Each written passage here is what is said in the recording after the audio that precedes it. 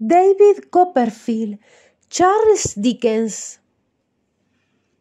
Al entrar en el comedor a la mañana siguiente, hallé a mi tía tan ensimismada ante la mesa del desayuno que, olvidando lo que estaba haciendo, seguía echando agua en la tetera que ya desbordaba, amenazando inundar el mantel.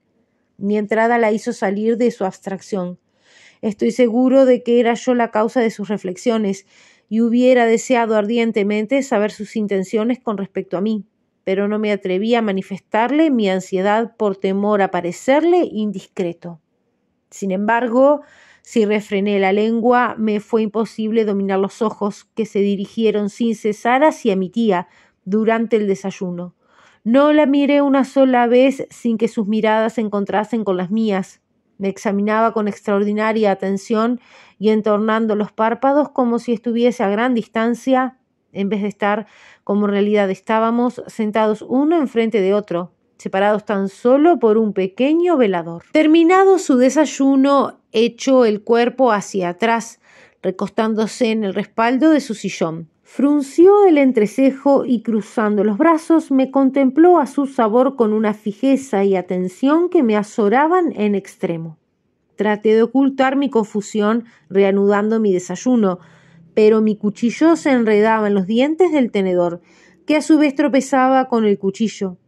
Era tal mi torpeza que al cortar el jamón volaban los pedazos por el aire, en vez de tomar el camino de la boca. Y al tratar de beber el té, me atragantaba o lo vertía por la mesa. Al fin renuncié a todo y sentí que el rubor tenía mi rostro bajo la mirada escrutadora de mi tía. Vaya, exclamó rompiendo el penoso silencio. Alcé los ojos y sostuve respetuosamente su penetrante mirada. Le he escrito, continuó mi tía.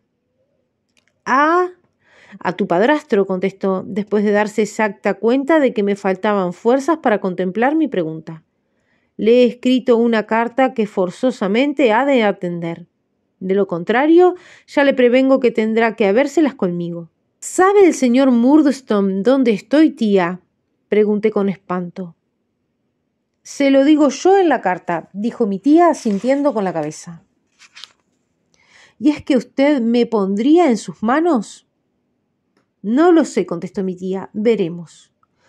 Oh, Dios mío, ¿qué será de mí si me obligan a volver a casa del señor Murdstone? No he resuelto nada aún, repuso mi tía. Veremos. Estas palabras me oprimieron el corazón y no pude ocultar mi abatimiento y mi tristeza. Mi tía, sin preocuparse de mí, sacó del armario un gran delantal con pechero, se lo puso sobre el vestido y lavó ella misma las tazas. Luego, cuando todo estuvo ya en orden y colocado en una bandeja, dobló el mantel y poniéndolo sobre las tazas, llamó a Juanita para que se lo llevase todo. Se calzó enseguida unos guantes y con un cepillo de mesa fue recogiendo las migas de pan hasta que no vio en el tapete un átomo de polvo. Terminados a su satisfacción estos quehaceres domésticos, se quitó los guantes y el delantal, los dobló y después de encerrados en el rincón del armario de donde los había sacado, fue a sentarse con su caja de labor junto a la mesa, al lado de la ventana abierta, poniéndose a trabajar detrás de la pantalla verde frente a la luz. ¿Quieres subir? me dijo mi tía enhebrando la aguja, a saludar a Ricardo y decirle que me alegraré mucho de que adelante en su memoria.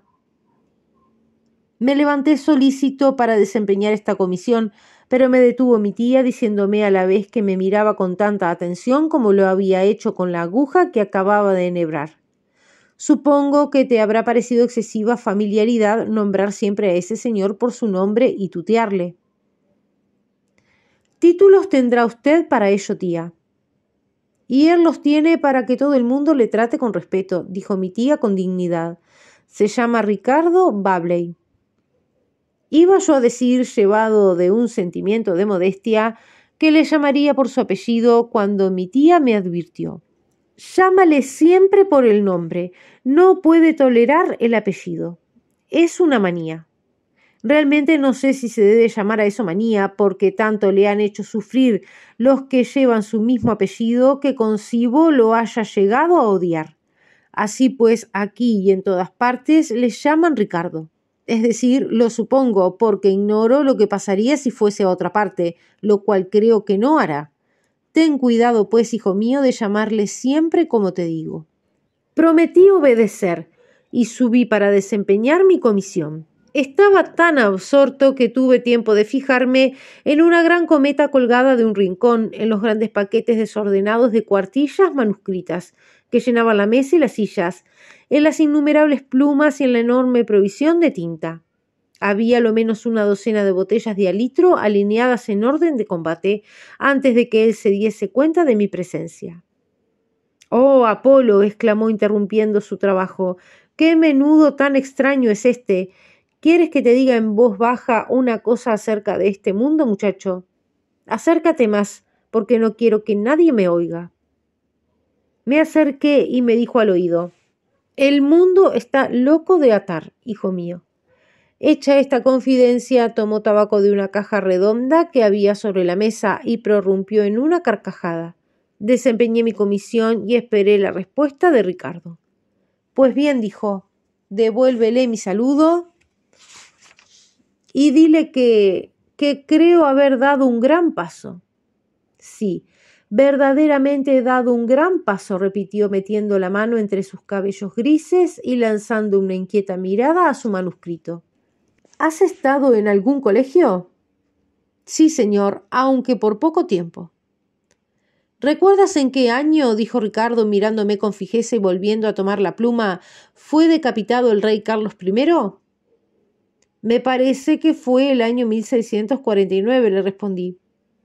Sí, asintió mi interlocutor, rascándose la oreja con la pluma y mirándome con aspecto de duda. Eso es lo que dicen los libros, pero no comprendo cómo afirman semejante cosa. Si hace ya tanto tiempo, ¿cómo se les pudo ocurrir a las gentes que le rodeaban la idea de traspasar de su cabeza a la mía algunas de las ideas que la torturaron momentos antes de que se la cortasen. Imagínese el lector el asombro que me produjo semejante problema, al cual me fue imposible hallar solución. Extraña cosa, exclamó Ricardo, lanzando una desolada mirada a sus papeles y pasándose de nuevo la mano por los cabellos. Extrañísimo fenómeno es que yo no pueda dilucidar este punto y dejarlo perfectamente claro. Pero no importa, no importa, siguió diciendo alegremente y con animación. Hay tiempo de encontrar la solución. Presenta mis respetos a la señorita Trotwood y dile que estoy en el buen camino. Ya me iba cuando me llamó la atención sobre la cometa. ¿Qué te parece esa cometa? me preguntó.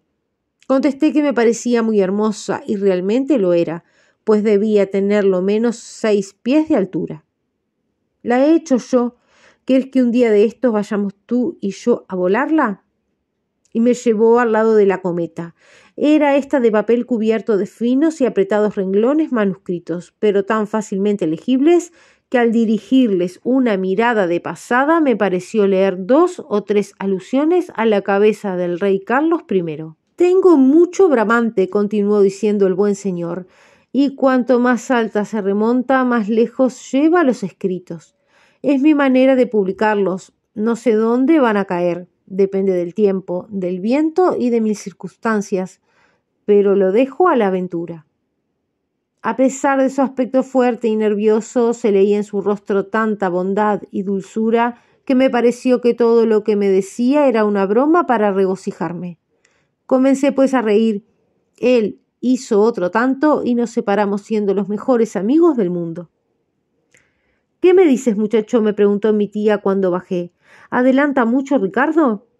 Le contesté que me había encargado que le presentase sus respetos y que le dijese que estaba en muy buen camino. ¿Qué opinas de Ricardo? exclamó inopinadamente mi tía. Traté de soslayar la respuesta, replicando que me parecía persona muy agradable, pero mi tía no me permitió zafarme, pues dejando la labor en sus rodillas, me dijo, luego de cruzar las manos Vamos, habla. Tu hermana Isabel me hubiera dicho inmediatamente su opinión sobre cualquiera. Imita en lo posible a tu hermana y habla. Ricardo, lo pregunto porque no lo sé, querida tía. ¿Tiene la cabeza algo trastornada? balbuceé al presentir que caminaba sobre un terreno muy peligroso. Ni por asomo, se apresuró a decir mi tía. Oh, soy muy torpe, dije con voz débil. Si alguna persona hay en el mundo que no tenga la cabeza trastornada, esa es nuestro amigo Ricardo, prosiguió mi tía con mucha decisión y energía. Como no tenía nada mejor que decir, repetí con timidez.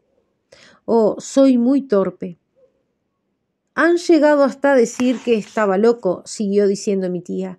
Siento un placer egoísta en recordar que han dicho esto, porque sin tal afirmación jamás hubiera tenido yo la dicha de disfrutar de su compañía y de sus buenos consejos, desde hace unos diez años, desde que tu hermana Isabel faltó a su obligación.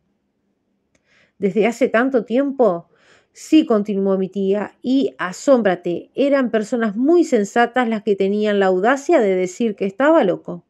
Ricardo es algo pariente mío, no importa en qué grado, ni es necesario que te explique el parentesco. A no haberme interpuesto yo, su propio hermano le hubiera recluido para toda su vida. He de acusarme aquí de haber obrado con hipocresía, pues al ver la indignación de la buena señora, traté de amoldarme a su manera de pensar y me indigné tanto como ella. El muy imbécil, siguió diciendo mi tía con creciente exaltación. Por el mero hecho de ser su hermano Ricardo algo extravagante, aunque no tanto como la mayoría de la gentes, se avergonzaba de lo que viesen en su casa y trató de recluirlo en un manicomio, faltando así abiertamente a la voluntad de su difunto padre, que le dejó especialmente recomendado a sus cuidados, pues también el padre creía que su pobre Ricardo era algo idiota. Valiente autoridad la de aquel padre. Debió imaginarse con seguridad que él era un compendio de todas las sabidurías al atreverse a formular un juicio tan aventurado. El loco indudablemente debió ser él. Tan convencida estaba mi tía de lo que iba diciendo que hube de hacer nuevos esfuerzos para aparentar que opinaba como ella. Tomé cartas en el asunto e hice al hermano la siguiente proposición. Su hermano goza de cabal juicio y es mucho más sensato de lo que usted será en toda su vida. Asígnele una rentita y que se venga a vivir conmigo. No le tengo miedo ni soy orgullosa. Estoy pues dispuesta a cuidarle y no le maltrataré como seguramente harían otros, sobre todo los enfermeros de los manicomios. Después de largas discusiones logré mi objeto y aquí está desde entonces. Es el hombre más cariñoso y dócil que existe en el mundo. En cuanto a sus consejos, ah, solo yo conozco y aprecio el talento de semejante hombre. Dichas estas últimas palabras en son de desafío, pareció esperar que alguien se atreviese a refutar sus opiniones. Pero el único oyente que era yo se guardó muy mucho de manifestar la menor duda sobre aquel punto.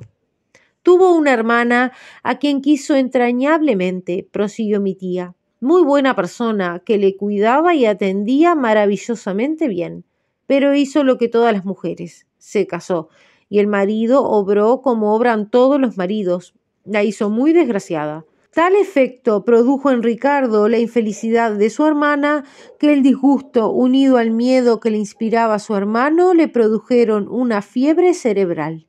Ocurrió esto antes de la instalación en esta casa. A pesar del tiempo transcurrido, conserva siempre un recuerdo penoso de aquella enfermedad. ¿Te ha hablado del rey Carlos I, querido mío? Sí, tía. Ah, es una alegoría que emplea para hablar de su enfermedad.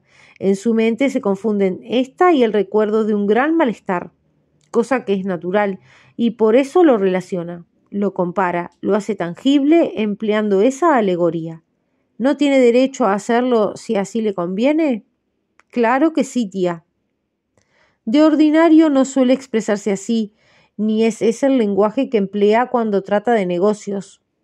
Y porque lo sé es porque insisto en que no haga ninguna alusión a ello en su memoria. ¿Escribe una memoria de su propia vida? pregunté a mi tía. Sí, hijo, redacta una memoria exponiendo sus quejas dirigida al Lord Canciller o no sé a qué otro Lord, a uno de esos personajes a quienes se paga para que reciban memoriales. Supongo que un día de estos la enviará. No ha conseguido aún redactarla sin introducir en ella aquella alegoría, Pero no importa, vuelve a escribir otras y esto le distrae.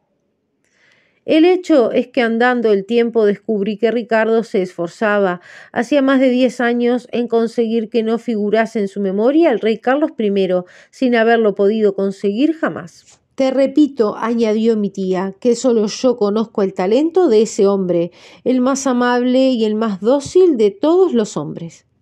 De vez en cuando le gusta volar la cometa. ¿Prueba esto algo? También a Franklin le agradaba lo mismo y nadie ha dicho que estuviera loco. Era además cuaquero o de una secta análoga, si no me equivoco. Y un cuaquero volando una cometa es mucho más ridículo que un hombre como los demás. Si hubiese podido suponer que mi tía me contaba todas estas particularidades para darme una prueba de confianza, me hubiera lisonjeado mucho y habría deducido augurios favorables de semejantes muestras de atención pero en este punto no me hice ilusiones. Era cosa evidente para mí que, si aventuraba todas estas explicaciones, era porque en su mente se planteaba siempre el mismo problema. Debo decir que la generosidad con que defendía al pobre Ricardo no solo me inspiró algunas esperanzas egoístas respecto a mi porvenir, sino que despertó en mi corazón cierto cariño hacia ella.